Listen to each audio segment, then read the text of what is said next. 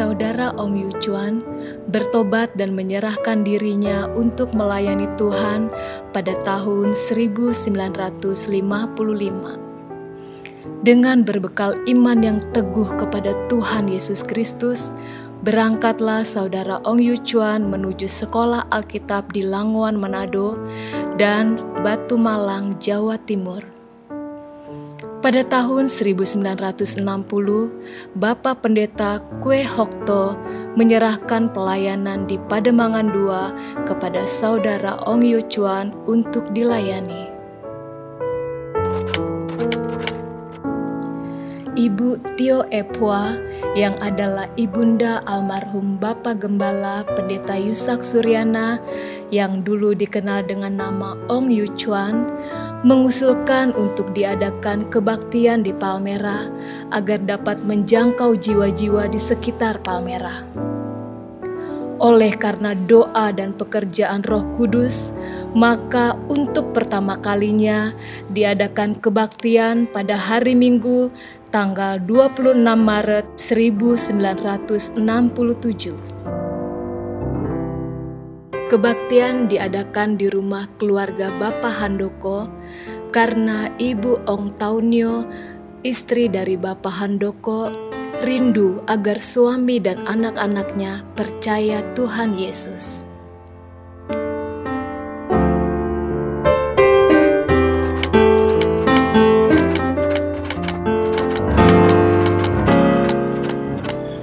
Komisi pertama yang dibentuk di GPDI Palmerah Timur adalah Komisi Pemuda dengan nama Kaum Muda Gereja Pantai Costa di Indonesia yang terkenal dengan singkatan KMGPDI. Foto ini adalah cikal bakal Komisi Pemuda GPDI Palmerah Timur. Kebaktian pertama KMGPDI diadakan pada Sabtu 15 Juli 1967 yang dipakai sebagai tanggal HUT Komisi Pemuda. Kebaktian pemuda pertama dihadiri oleh kurang lebih 30 orang pemuda-pemudi. KMGPDI diubah menjadi Komisi Pemuda atau PELPAM, Pelayanan Pemuda Pantai Costa, pada tahun 1980. Dan Komisi Pemuda GPDI Palmerah Timur diberi nama Ebenezer.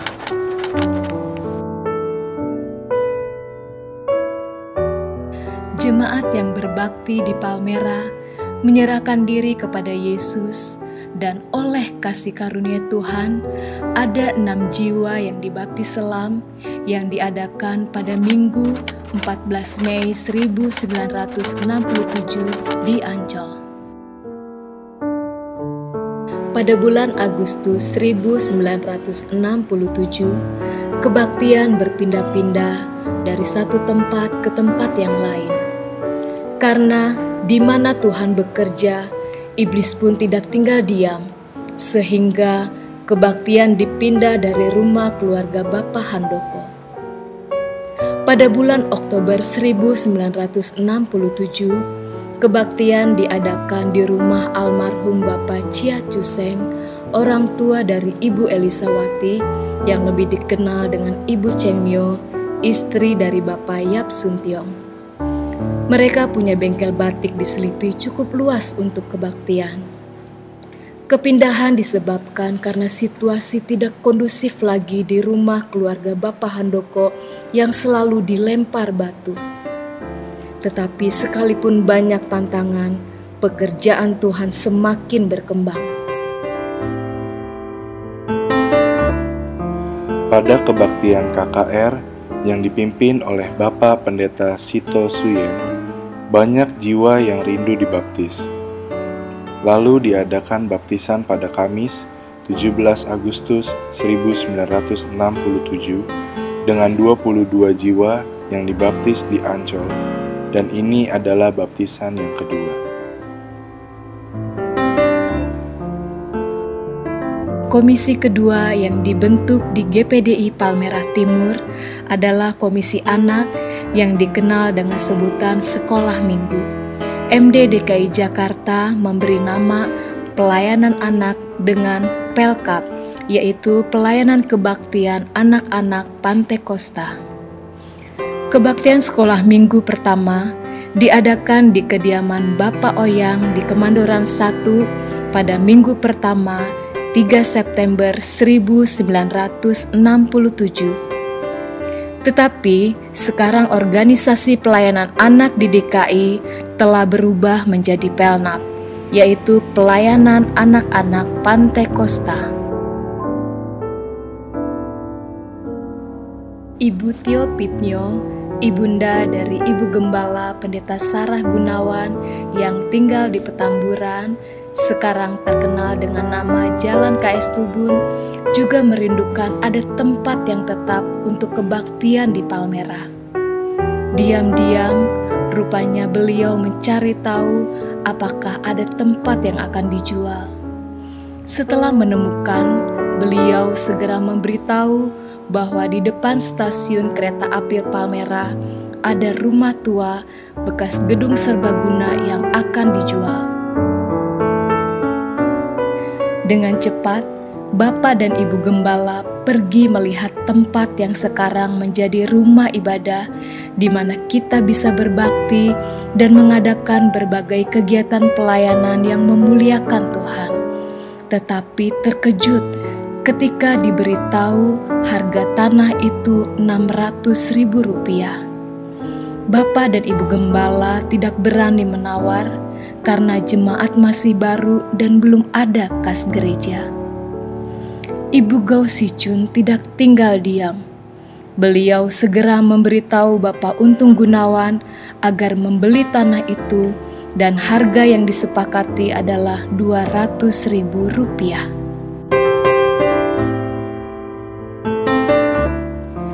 Pada Minggu 5 November 1967, kebaktian pertama diadakan di tempat ini. Roh Tuhan bekerja dengan dahsyat.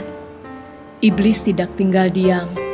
Pada Kamis 9 November 1967, tempat ini diserbu oleh orang-orang yang tidak bertanggung jawab yang juga menyerbu tempat keluarga Bapak Handoko di Jalan Palmera Barat nomor 60. Bapak Gembala berkata, Tetapi saya bersyukur kepada Tuhan Yesus Kristus dan sangat berterima kasih kepada pemerintah dan ABRI yang telah digerakkan oleh Tuhan Yesus untuk menjaga tempat ini sebaik-baiknya, sehingga tidak terjadi apa-apa hanya hujan batu dari tangan-tangan jahil saja yang mengambil batu bara dari stasiun PNKA.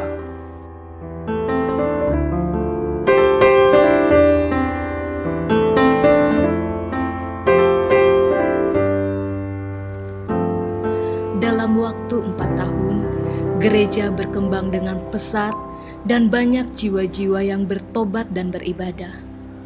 Ibadah Natal pertama diadakan di bulan Desember 1967. Pada tahun 1970, walau gedung masih begitu sederhana, tetapi sudah ada mempelai yang diberkati di tempat ini, di antaranya pernikahan saudara Yoel Setiawan Suryana dengan saudari Krisantin.